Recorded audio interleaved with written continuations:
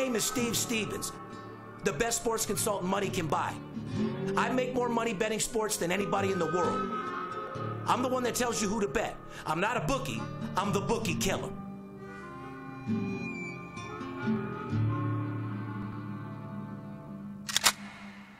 Money talks, then I got a lot to say. I'm on the grind trying to make a hundred thousand dollars a day. The game that I pick, believe me, it's a winner. What I know could get you rich, cause all I pick is winners. Welcome to Las Vegas. Money talks, money talks.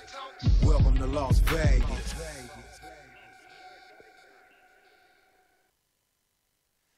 Welcome back, ladies and gentlemen. You're tuned into the VIP Sports Podcast. I'm Darin Notaro, aka Steve Stevens, the Bookie Killer, sitting here with my ride along host, the Paparazzi. Good morning, brother. Man, what what a week! We finally previewed the Million Dollar Weekend, and I mean, we could not have had a bigger and better response than we did. I want to thank everybody that got to see the little sneak peek. I told you guys if it was up to me, I would have released episode one and really blew their fucking mind. Yeah. But uh, we got approval to show you guys a little bit of the sneak peek of the concept. But I do want you guys to understand the real show is no comparable to the fucking sneak peek. There's so many more layers of the new show with the women, the party, the sales room, my motivational meetings, everything that goes along with VIP sports. But what blew my mind is where's the haters? Even the haters can't hate no more, huh? I, I mean, how are you going to hate on a production like that? That I mean, that that really was Money Talks on steroids in an updated time, and like you The, the, said, the show is. The sneak peek wasn't. But yeah,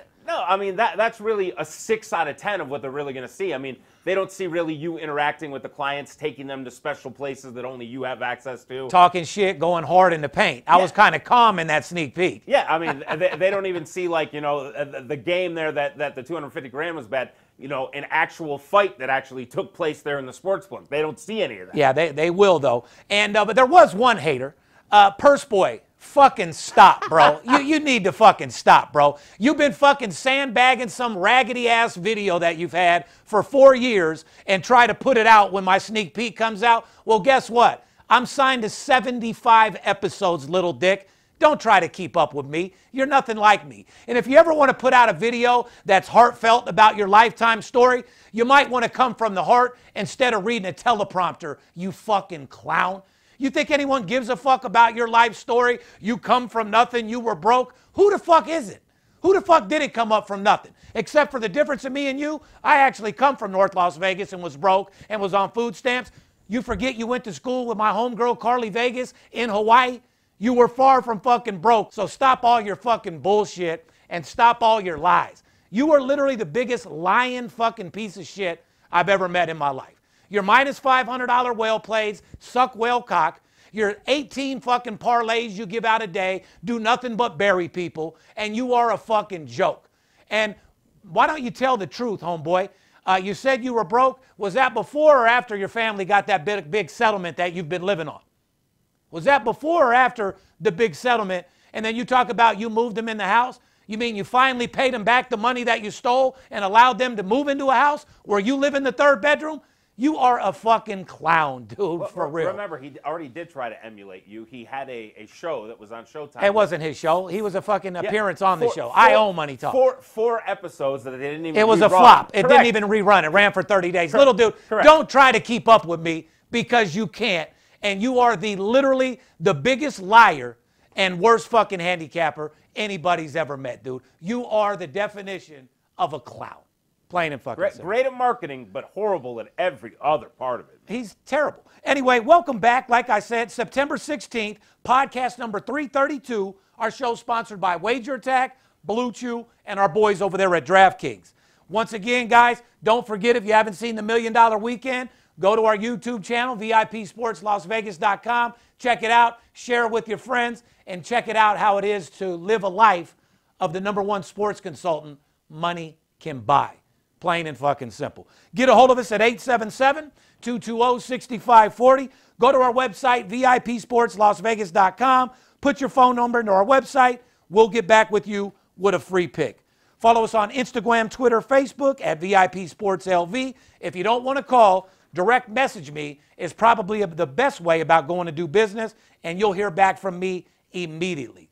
Remember, guys, we will not DM or spam you about contests, promotions. So if you get contacted by an account with my picture that says they are me, look for that blue check mark for your own safety. And all you other motherfuckers trying to get the handle, million dollar weekend, million dollar weekend Steve Stevens, million dollar weekend VIP, you're just wasting your time.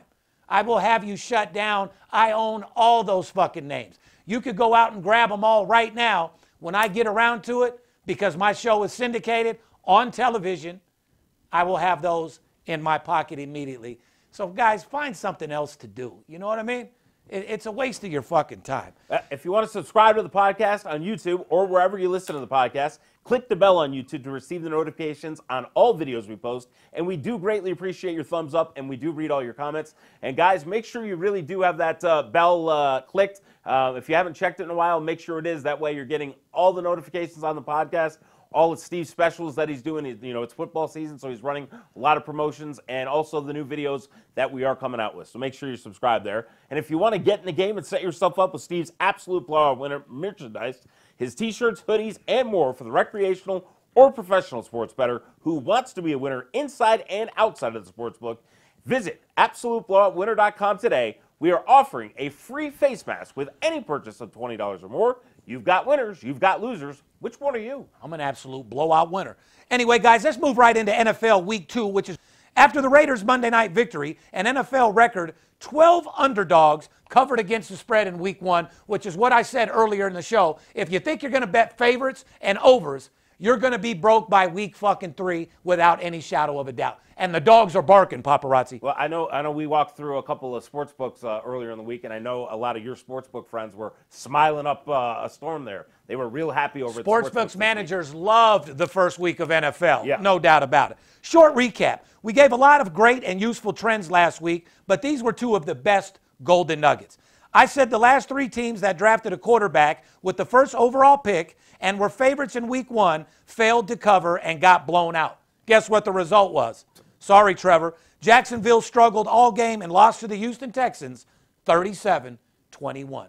There was a blowout winner for you right there. Yep. Underdog, huh? Yeah, right. I gave it to you guys. I said the Las Vegas Raiders were 7 0 to the over at home last season. The result both teams combined scored 60 points in Las Vegas's dramatic 33 27 win in overtime. And, and how about that game? Was our city not absolutely fucking rocking? Well, they've said that we got the number one NFL fucking fans just like we have in hockey. I Yep. mean, it wasn't any surprise. No. So, like I said, man, you guys get a chance to come out to these Raider games, you're in for a major treat because our fans are on fire. You better come vaccinated though, and you better not try to come with some fake fucking card because uh, there were arrests made over at that game with people trying to do it.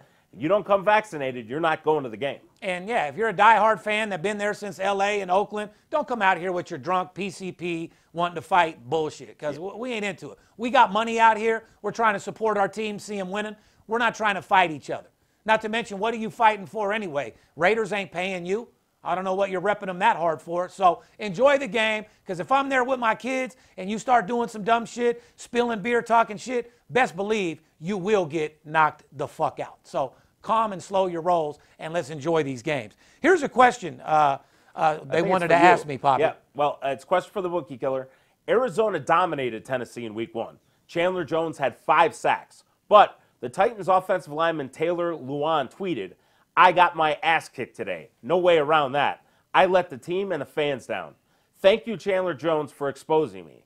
It will only force me to get better. Question How much do you respect a player like that for going out there tweeting and taking responsibility? I fucking love it. He took responsibility for his actions, realized he could have been a lot better in that particular game, said that this other player exposed his weaknesses. Now you go back to the drawing board, you go and watch tape, and you make yourself that killer who you really are. Plain and simple. I loved it. Showed a lot of class, a lot of respect, and it also shows motivation to get back in that next game and do whatever it takes to get the fucking job done. That's a heart of a true winner. I, I totally agree. When a player can step up like that, these guys want accolades, want to make the millions, and do whatever. But when you fuck up and can go out there and you know apologize to your team and the fans and say, "Hey, I want to get better," nothing better than that. Same with me. When I lose a hundred thousand dollar game for one of my clients, you don't need to scold me or or think I'm going to come up with an excuse. I ride myself harder than you could ever ride me about my mistakes or a bad call. You know what I mean? Or not performing to my expectations. Oh, and on, that note, guys, I apologize. Last week I was definitely wrong about Iowa State, and uh, when I'm happy to take the credit for Well, it makes I'm sense. right about, I'm, I'm happy to we, take we said it on the show. They about. shouldn't be taking your games. We're Yeah, just pre- hey, yeah. You, all, I mean, but at the same time, you have an opinion. You guys want to Yeah. know who's going to fucking win? You better call the office and pay some money, and we'll tell you who we're on. that's but sure. no, don't stop giving out your opinions. That's part of this fucking show. I wanted to mention one more thing about the Million Dollar Weekend, mm. uh, because you know we hit hundred thousand views in a couple days. Yeah. Guys, that particular video would have hit millions of views within four or five days. I talked to YouTube personally. Yeah. Because I put the Drake music and unauthorized music on there, it makes the video not able to be monetized Correct. or promoted by YouTube. Right. So, uh, you know, if you guys are wondering why it has 100,000 in a couple days rather than a million, that's your answer. I wasn't going to go change it, nor do I really give a fuck about the views. I'm already signed with a major television network. Uh, we got a tens of millions of dollars deal locked in.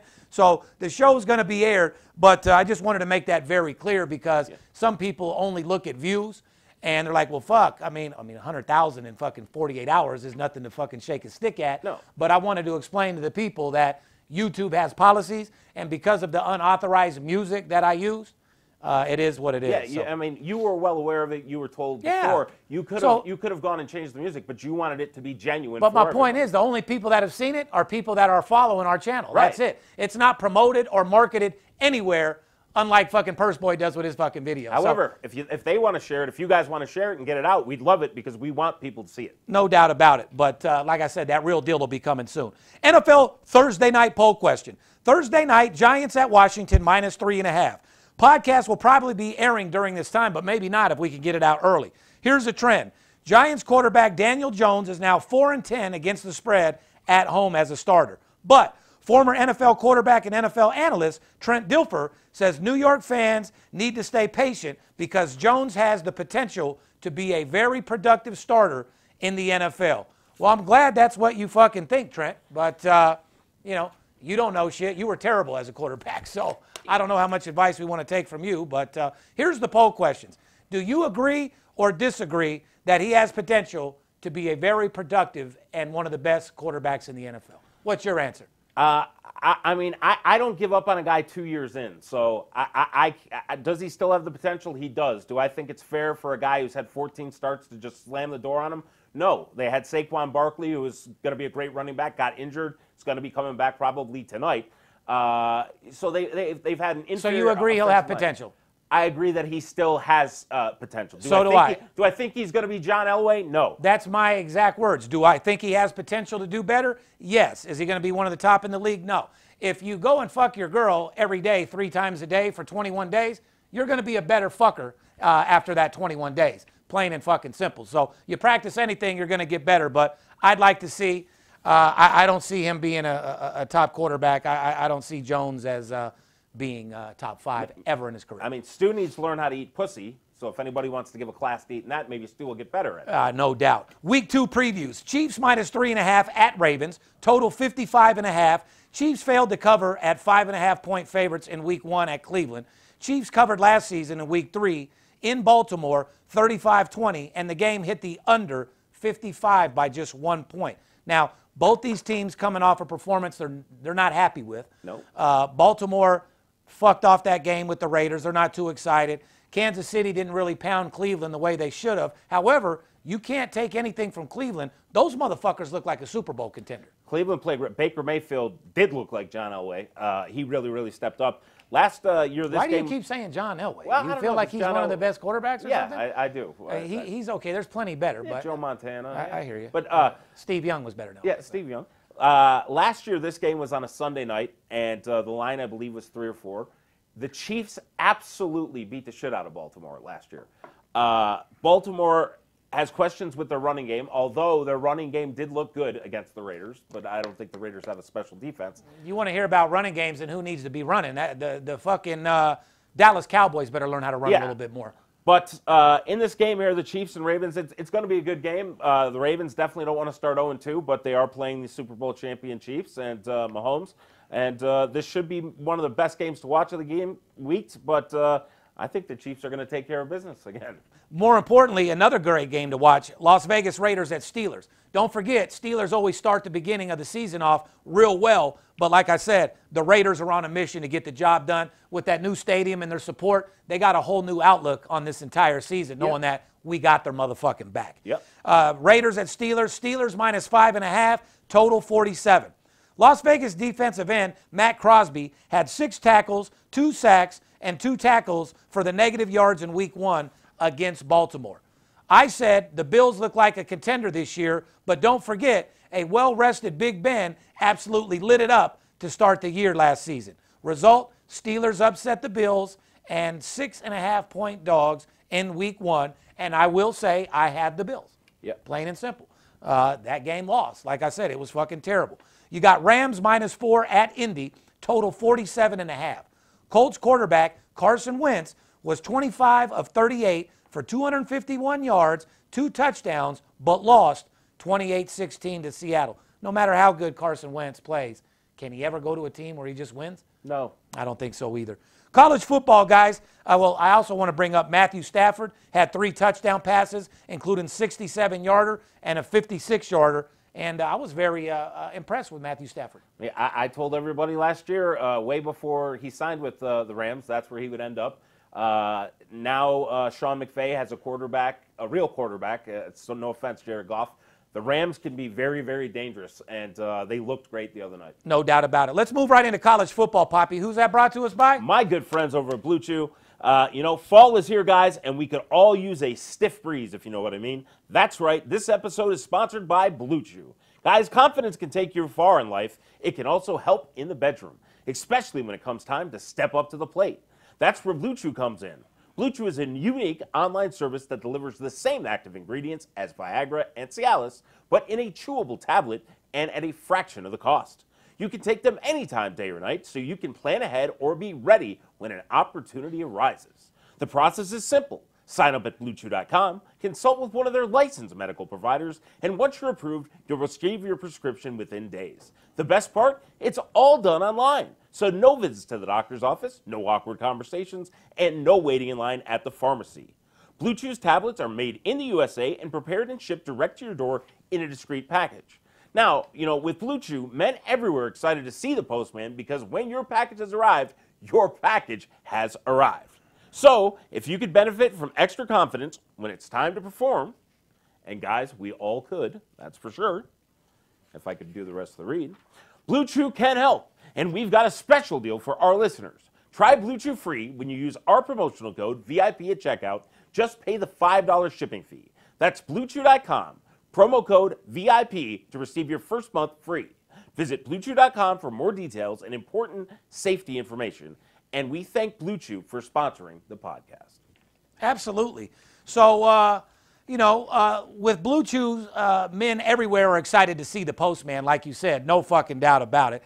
Guys, there's nothing sexier than confidence. And Blue Chew can help you give you confidence where it counts. Yes. Blue Chew can help. And we've got a special deal for our listeners, right? Try Blue Chew for free with use our promotional code VIP at checkout. Pay $5 shipping. BlueChew.com. Promo code VIP to receive your first month free. Visit BlueChew.com for more details today. Important safety information. And we thank Blue Chew for sponsoring the podcast. It's so good we read it twice. But I wanted to make sure. I mean, like I said, they've been showing us some love. They need to come with a little bit more money, but uh, they've been one of our loyal sponsors. And for that, Blue Chew, we love and, you. and it works, guys. Uh, testimony, you've heard me talk about it for a couple of years. It really does work. Week three previews. Number four, I, Iowa State at 30 and a half against our boys UNLV. Uh, UNLV covered a large spread against uh, ASU in week two. Here's the question, Poppy. Is this a game you might be targeting in week three? I guess that would be a question for me. Absolutely. That is definitely a major play game that we have. Iowa State versus UNLV. You want to know who we're playing? DM me or call and take advantage of one of them promotions. Number 19, ASU minus two. At number 23, BYU. BYU has a chance to knock off three straight Pac 12 opponents. Yep. Three point spread. B- BYU, man, looked really, really good. Last week they were seven point home dogs to Utah, big rivalry game there. And uh, BYU just led start to finish. And uh, here's a big question for you. You know, obviously they lost their uh, starting quarterback there to the Jets, got drafted. Zach Attack, baby. Zach, Zach Taylor, you loved him. But can quarterback Jaren Hall make enough plays for BYU? And can Daniels and White have a big night at running back for Arizona State? What, what are your feelings on this game? I think Jaren Hall is no Zach Attack. I think he can make enough plays uh, uh, for BYU.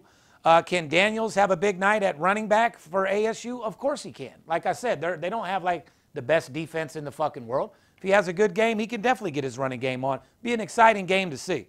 Number 22, Auburn at number 10, Penn State. Steve's absolute blowout winner last week. Mm-hmm. Penn State minus 10 and a half. Auburn hasn't played a Big Ten opponent in the regular season since 1991. 31. 31? 31. Oh my fucking God. So 110,000 fans will be wearing white t shirts at Beaver Stadium for the, for the traditional whiteout game. Should be interesting. Number one, Alabama, minus 15 at number 11, Florida. Hearing a lot of talk in the sports book. I think Florida can win the game outright. Yeah, I hear you guys. When's the last time though Florida was at home getting 15 points? It's been a while. So, like I said, just a little knowledge for you guys. If you're that strong enough to think Florida's going to beat Alabama outright, number one, you're wrong. Number two, take your fucking 15 points. You know what I mean? And still be stressed out the entire game. Yep. Total 58 and a half. Florida hung tough with Bama in the SEC championship game last season. Alabama is looking to score 30 or more points for the 25th consecutive time, which would be an all-time record, which I feel they will break that record this week. Alabama's quarterback Bryce Young will be making his first start in a true road game on Saturday.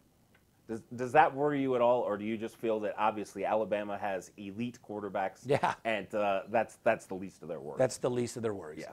Number 16, Coastal Carolina minus 12 and a half at Buffalo. Coastal Carolina is 2 0 against the spread by the way, guys. Buffalo covered in week 1 but lost to Nebraska in week 2, 28 to 3. Looked absolutely fucking terrible, Yeah, as Charles did. Barkley would say. Yeah, they did. The trend, both teams are trending to the over. Going back to last season, the total is 57, and Buffalo has covered nine straight home games.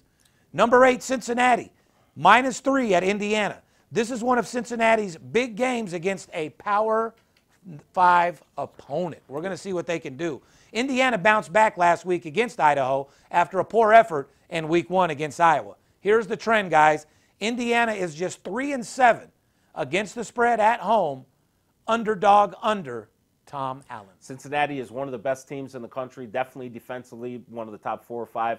Offensively, much improved. And Cincinnati's in a conference that they need to win these games, especially against teams in other big Power Five conferences. So this is a must win for Cincinnati. And they are a dominant team. I expect Cincinnati to get the job done. Let's move into Major League Baseball. Can you believe fucking Detroit? Seven in a fucking row?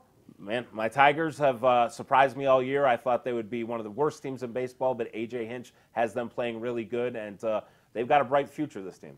Uh, quick red hot trend Seattle Mariners have hit the over in 13 straight games. That's shocking. Once again, the Mariners hit the over in 13 straight games. They played a lot of extra inning games, though. Toronto 16 and 3 in their last 19 games, but Toronto did lose as a minus 300 favorite on September 10th against Baltimore. So you got to be careful those big fucking favorites. Baltimore's played really good the last couple of weeks. They've they've beaten a lot of teams, but Toronto is probably the hottest team in baseball. They put themselves back uh, where they're actually in the playoffs right now. No That- doubt. That that AL East between Toronto, Boston, and New York is insane. Tampa's already probably pretty much got that locked up, but for the uh, Well, they, wild they, card they've been playing like they feel like they got locked up. Yeah, well, that that's true. Tampa has not been playing the greatest, but they've got a, a, a nice lead out there. But for the second and third uh, wild card spots between Boston, Toronto, and New York, it's it's going to be a nice little race here for the next three weeks. Last night it started to rain, and the Yankees had runners on second and third, down one run in the top of the ninth inning. The grounds crew and Camden Yards was getting into position to roll out the tarp if directed to. But the home plate umpire ejected the grounds crew from the field, and the Yankees scored two runs and went on to win a very important game. Former Baltimore star Jim Palmer said he has never seen anything like this in baseball game ever. I- I well, it. sounds to me like they needed the Yankees to go ahead and get them runs in and get the job done, huh? It, it did. The umpire sure did. The grounds crew sure didn't want any part of it. But uh, yeah, Brett Gardner went and got uh, a single, got them the lead uh, four three, and they were able to hold on. But yeah, The the umpire was going nuts. I didn't understand what was going on at first. He was very adamant. Get the fuck out of here. Get the fuck out of here. And you saw ten guys from the grounds crew. Not not run back to their position, but literally run into the tunnel and got out, out of the field. It was Exactly. It was Bounce, funny. guys. We're going to finish this game out. AL wild card race. The Blue Jays, Yankees, and Red Sox are virtually tied for the top two wild card spots in the American League. The Yankees have the toughest remaining schedule. New York plays Boston on the 24th, which I wouldn't worry about, followed by a bloodbath in Toronto, and then back home again against the Rays to end the season. They definitely got a tough little ending there. Yep. In the National League, the St. Louis Cardinals have won five straight games. St. Louis plays San Diego in a huge series starting on Friday that could help determine who will play the Dodgers in the NL wildcard game as the Cardinals swept the Mets. They did. Uh, uh, like we just said, the Cardinals have won five straight games.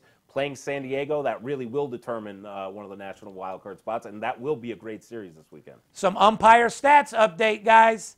On Wednesday, Pat Holmberg was the home plate umpire for the Angels versus the White Sox games. Hoberg was 20 and 8 to the under going into this game. Results: the Angels won 3 to 2 and Hoberg is now 21 and 8 to the under this season. Also, Adam Hamari is now 21 and 7 in favor of the home teams and Jansen Visconti is now 20 and 7 in favor of the road You, team. you know, to you guys, if you know that he has this kind of information, is looking into that kind of detail. What are you right? betting on your own for? Exactly. If you're here to make money, even if you're there and and that's just your hobby, you're watching the games, there's no better time to make money. But if you know this is the type of information he gets, there is no reason you are not calling 877 220 6540 and making yourself money while watching your game. Maybe a lot of these people are confused what I do and what a true sports consultant does. Yeah. It's not a guy to help you out. It's a guy to take over your entire portfolio while you focus on your day job and your life and your kids. And all I do is call you once a day. I do all the work. I, it's my grave for your payday, guys. A, a true sports consultant, it's my job to make you a second income. It's not your job to put in a bunch of work and then call me and deal with me or bet on your own for the first three weeks, get buried, and then call me when your bankroll's gone. It doesn't work like that. How about calling me when you do have a bankroll so I can show you how to flip that shit like a world class gymnast? Anyway, guys, the weather in Las Vegas is absolutely beautiful. It's the best time of the year to absolutely be here. Shout out to all my clients that are scheduled to be here in town over the next three weeks. Look forward to meeting you, look forward to hanging out, and more importantly, I look forward to making you more fucking money than you could possibly ever imagine. It's football season, guys. Everybody's excited. I want everybody to be on the winning edge. Don't forget to take advantage of that promotion that I'm doing today. $149 for an owner selection that I charge $500 for. I know a lot of people can't afford $500 selections. So what I did was I'm releasing an owner selection for $149 and I'm also as a gift giving you through Sunday absolutely free. So you get through today through Sunday for $149 plus an owner selection absolutely free. Guys, you got winners, you got losers. Which one are you? On the behalf of VIP Sports and myself, we love you. Let's continue to have the biggest season we've ever had. And remember one thing don't let the players be the only ones that get paid. We love you. Make sure you check out that sneak peek of the Million Dollar Weekend and share it with your friends. Let's go get that money. It's Steve Stevens. I bust your bookie head open. Split it to the white meat, I ain't joking. Me and Dirt Bomb in the ghost float. Straight OG like that kush I be smoking. It's way too potent for rookies to come hit it. A little white girl around, I might sniff it. Popping bub in the club, so twisted. My pops keeps telling me to go get it. So I'm at the sports book, betting big on the Clippers. I'm talking about five figures. I need a few shots of liquor. Might need another zipper if the bomb play me. Fuck around and put a half a mil on Tom Brady. When it comes to betting sports, Steve Stevens a beast. Need a certified winner called VIP Sports. Got too many felonies to ride around with my Glock, so sure to keep it since I got shot in Vegas like Byron.